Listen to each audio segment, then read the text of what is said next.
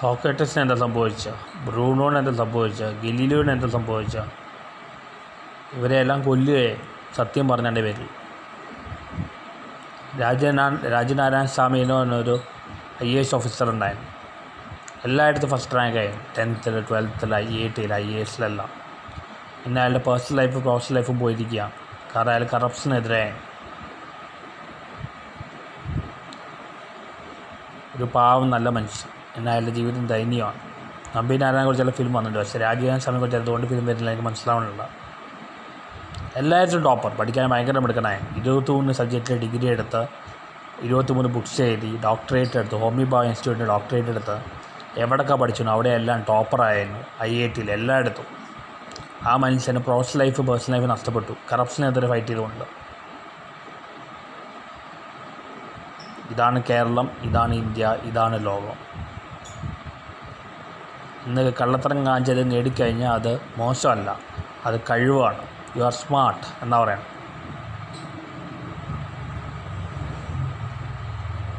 ഇന്ത്യയിൽ മുഴുവൻ കറപ്ഷനല്ലേ പലരും കറപ്ഷൻ നിന്ന് കൊടുക്കും ജീവിക്കാൻ വേണ്ടിയാണ് നിന്നു കൊടുക്കുന്നത് പക്ഷെ ചെയ്യുന്നവരെല്ലാം എന്താ? ഒരു എല്ലാം എല്ലാം അഴിമതിയല്ലേ?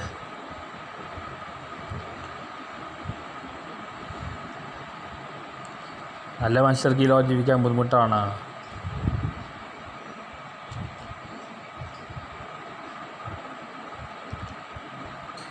മോഹൻലാലിന്റെ ആനക്കൊമ്പ് കേസ് മാറ്റാൻ വേണ്ടി എത്ര ശ്രമം നടത്തുന്നു?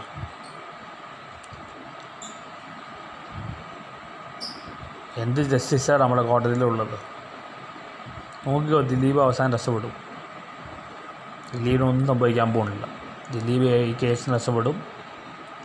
അത് കഴിഞ്ഞ് അവൻ സിനിമാ ഫീൽഡിൽ എല്ലാവരുടെയും സപ്പോർട്ടുണ്ട് പണവും ഉണ്ടാക്കും എല്ലാം ചെയ്യും. നഷ്ടപ്പെട്ട എല്ലാം ദഹിക്കുകയും ചെയ്യും.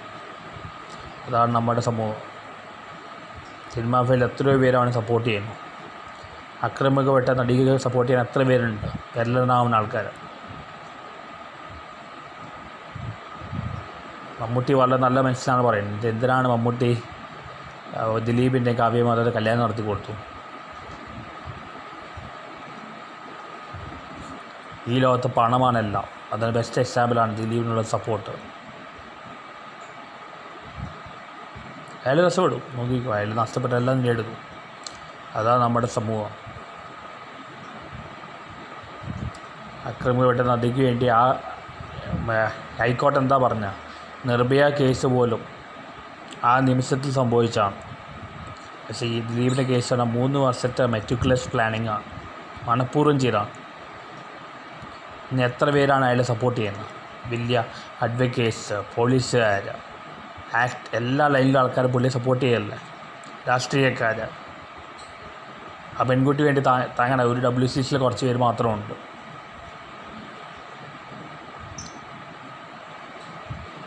എത്ര പേര് മൊഴി മാറ്റി പറഞ്ഞു?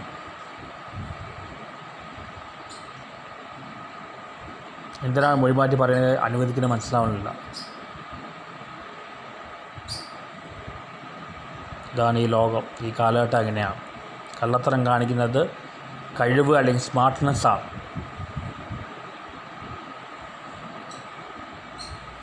എ കെ നല്ല മനുഷ്യനായിട്ട് എനിക്ക് തോന്നിക്കുന്നത്. ആ കുട്ടി ആ ആളെക്കുറിച്ച് ഒരാൾ പറഞ്ഞത് നാടിനും കൊള്ളില്ല വീടിനും കൊള്ളില്ല. എന്താ കാരണം? അയാൾ കറപ്ഷൻ ചെയ്തില്ല കറപ്ഷൻ ചെയ്യുന്നവർ മിടുക്കന്മാരാണ്. രാജനാരായണ സ്വാമിയുടെ ജീവിതം പോയത് അങ്ങനെയല്ലേ? പഠിക്കാൻ എത്രയും ബ്രില്യന്റായ പയ്യൻ ആളയൻ എല്ലായിടത്തും ഫസ്റ്റ് റാങ്ക് അപാര നോളജ് എല്ലാം ഉണ്ട്. പക്ഷെ അയാൾ കറപ്ഷനെതിരായി അതുകൊണ്ട് അയാളുടെ പ്രൊഫഷണൽ ലൈഫും പേഴ്സണൽ ലൈഫൊക്കെ നഷ്ടപ്പെട്ടു. നിങ്ങൾ സിനിമാക്കാർ ആരെങ്കിലും ആളുകൾ അയാളെ കുറിച്ച് സിനിമ എടുക്കും. നമ്പി കുറിച്ച് സിനിമ എടുക്കുന്ന പോലെ രാജനാരായണ സ്വാമിയെ കുറിച്ച് പുസ്തകം ഒരു സിനിമ എടുക്കും. നയനാർ പോലും പറഞ്ഞു ഓന് ബുദ്ധി കൂടിപ്പോയി.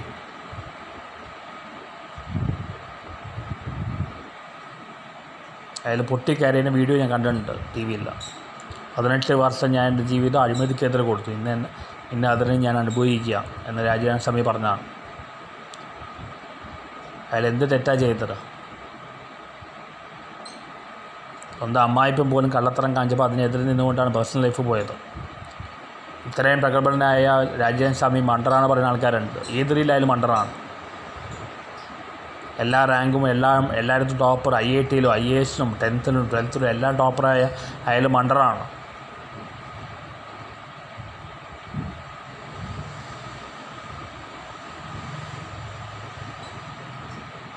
ഇവിടെ മുഴുവൻ കറപ്ഷനാണ് നമ്മൾ സർക്കാർ ഓഫീസിൽ പോയി എന്തെങ്കിലും കാര്യം നടക്കണമെങ്കിൽ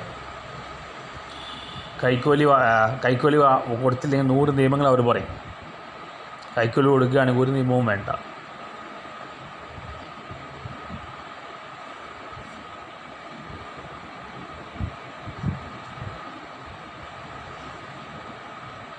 മെറിറ്റിന് യാതൊരു വിലയില്ല. മൂന്ന് എൻട്രൻസ് കിട്ടിയാണ് ഞാൻ.